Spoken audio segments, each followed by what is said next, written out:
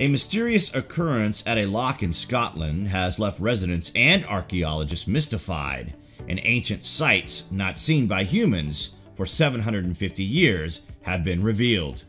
Described as being a threat to Scottish heritage, according to the independent water levels in a freshwater Scottish loch, mysteriously reached a 750 year low earlier this year, according to archaeologists studying the remains of an ancient settlement on a man-made island.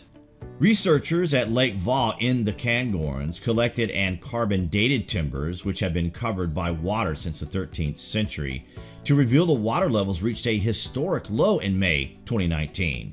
However, what remains unclear is what caused the loch to drain. It is a spring-fed loch with no other major water inlets or outlets. But in May, the water levels had fallen by 1.4 meters. It was like someone had pulled a plug, according to locals, and took until July for the loch to regain its usual level. According to researchers, the radiocarbon dating we took came from a timber that was just about 15 centimeters below where the water level was in May. So what that says to me is that sometime in the last 750 years, the level had dropped to maybe as low as that point before, but no lower. Locals have previously blamed Scottish water, suggesting boreholes have drained the aquifers supplying the loch, but this has been rejected by the company, which said their activities three miles upstream were too far away to affect it. The Scottish Environment Protection Agency has suggested the loch has suffered due to a relatively dry winter. Whatever is going on, it is weird and nobody seems to know.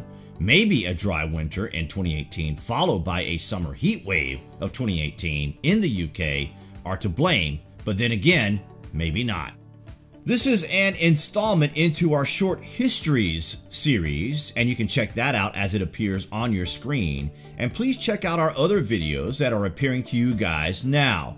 We need your viewership as we attempt to fight back against the attempt to silence the Lost History channel on YouTube. What do you guys think about this anyway? Comments below, and as always, thank you for watching.